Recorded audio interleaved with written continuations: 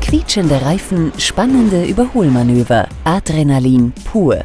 Mit der 10. Kart Trophy startete Ischgl vom 23. bis 26. Juni 2016 in den Sommer und präsentierte sich vier Tage lang als das Monte Carlo des Kartsports.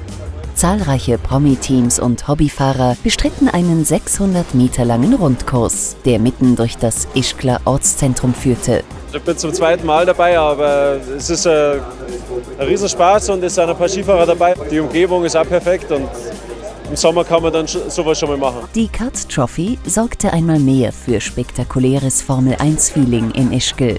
Davon zeigte sich auch die zahlreich erschienene Prominenz aus Sport, Society und Fernsehen begeistert. Der Spaß ist einfach da, das ganze Wochenende ist wirklich urgeil. Ich bin halt eine, die auf der Geraden äh, schon äh, Vollgas gibt. Ischgl, der Ort, hat einfach was als Tiroler, muss man einfach daher und jetzt bei dem Wetter und auch das Rennfahren. Also richtig, jeder gibt alles und das kann man so mit Skifahren vergleichen. Es ist weniger Druck natürlich. Aber Adrenalin ist da, man will schnell sein, man will überholen und das macht richtig Spaß. Ischgl ist eigentlich ein Ort, den man ja eigentlich mit Wintersport verbindet. Ja. Und ich finde halt gerade so, ähm, dass, dass man hier zeigt, dass man eben auch andere Sachen hier machen kann, ist natürlich super. Während die Damen beim Wildcat Race ihr Können bewiesen, kämpften die Herren in der sogenannten Lions Race Klasse um Bestzeiten. Um schnell zu sein, hatten sich die Teilnehmer der rund 40 Rennställe dabei unterschiedlichste Taktiken zurechtgelegt. Man muss ein bisschen so äh, mit dem Kopf äh, vorausschauend denken, dass wie man welche Kurve nimmt, dass man so wenig wie möglich Geschwindigkeit kaputt macht. Wenig bremsen ist immer gut.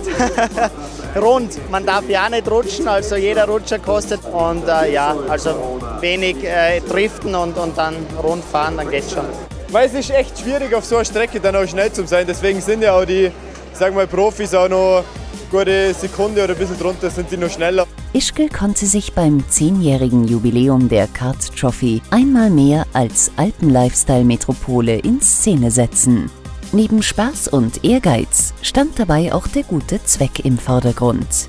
Dieses Jahr steht ja alles unter dem Gedanken Herzrasen für Herzkinder. Das Projekt Herzkinder Österreich wird unterstützt. Finde ich einfach eine ganz tolle Sache bei so einem Event, wo viele Prominente dabei sind, die auch irgendwie eine große Streuung haben.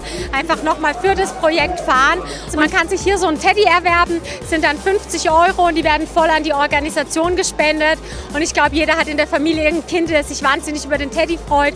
Und die 50 Euro sind, glaube ich, mehr als gut investiert.